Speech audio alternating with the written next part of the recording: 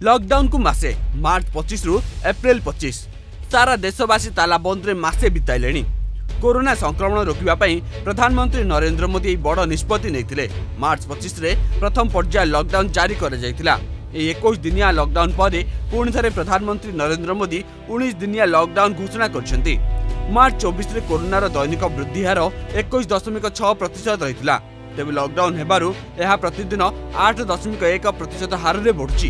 ଯଦି ଦେଶରେ ଲକଡାଉନ ହୋଇନଥାନ୍ତା ତାହେଲେ ସେବେଠାରୁ ଆଜିକ ମଧ୍ୟରେ ଆକ୍ରାନ୍ତଙ୍କ ସଂଖ୍ୟା ଦୁଇ ଲକ୍ଷ ପାର କରିଯାଇଥାନ୍ତା।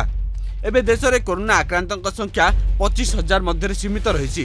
ବିଶେଷଜ୍ଞଙ୍କ କହିବା ଅନୁଯାୟୀ ଦେଶରେ କରୋନା ଆଠ ଦଶମିକ ଏକ ପ୍ରତିଶତ ହାରରେ ସଂକ୍ରମିତ କରୁଥିବା ବେଳେ କେରଳରେ ଏହା ଏକ ଦଶମିକ ଆଠ ପ୍ରତିଶତ ରହିଛି। ଅର୍ଥାତ୍ ଜର୍ମାନୀ ଠାରୁ କେରଳ କରୋନା ମୁକାବିଲାରେ ଆଗରେ ରହିଛି। ଯଦି ଭାରତ କରୋନା ସଂକ୍ରମଣ ହାରକୁ ଛଅ ପ୍ରତିଶତକୁ ହ୍ରାସ କରିଦେଉଛି ତାହେଲେ ଗୋଟିଏ ମାସ ପରେ ଆକ୍ରାନ୍ତଙ୍କ ସଂଖ୍ୟା ଏକ ଲକ୍ଷ ତିରିଶ ହଜାର ରହିବ।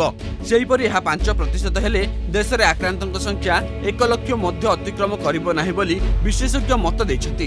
ତେଣୁ ସଂକ୍ରମଣ ରୋକିବା ପାଇଁ ଆମ ସମସ୍ତଙ୍କୁ ସରକାରୀ ନିୟମ ମାନିବା ସହ ସାମାଜିକ ଦୂରତ୍ୱ ଓ ମାସ୍କ ପିନ୍ଧିବାକୁ ପଡ଼ିବ। Bureau report the Argus dot in.